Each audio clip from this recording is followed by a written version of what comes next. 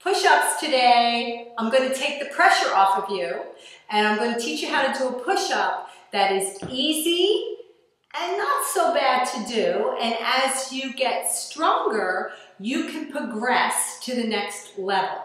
I always say there's no rules in fitness in my gym if you perform everything properly and you focus on your movement so you don't get hurt. You do what your body allows you to do so that you can be fit. You don't have to do military push-ups off of your toes. We're gonna get there, but I wanted you to see how I start my clients. We sit back into the, into the lower, the legs, and we place our hands on the floor so they're gonna be underneath our shoulders. Take your knees back so they're underneath your hips.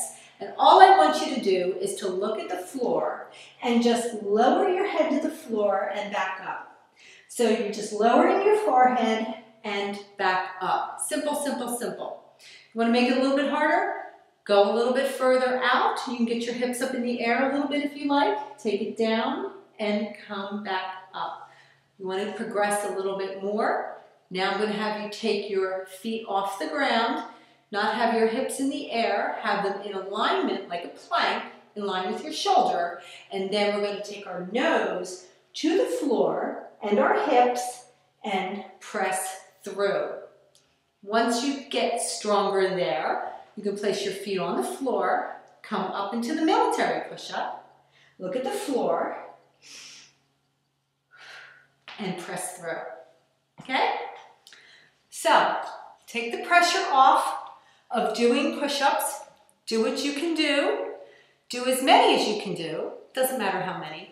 The, the one thing I don't like about all of the plank challenges and the push-up challenges is that you wind up overtraining. And remember, when your body gets tired, you take the path of least resistance. Your body takes the path of least resistance to make it easier. And that's when you start to dip in the low back, Drop the head towards the floor and you lose form.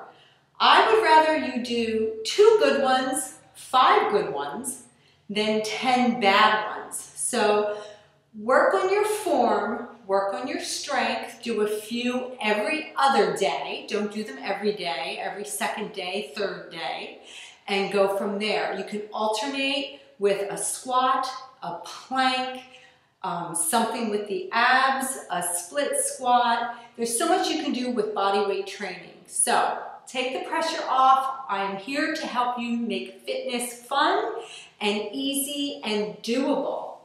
I'll see you in the next video, which will be some abs.